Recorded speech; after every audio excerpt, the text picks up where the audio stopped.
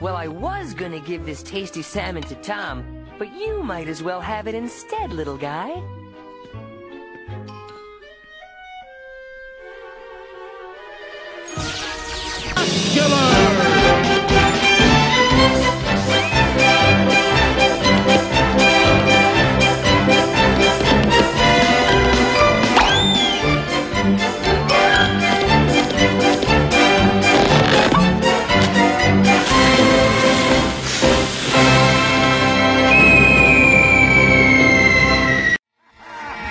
guys are the greatest. I love it.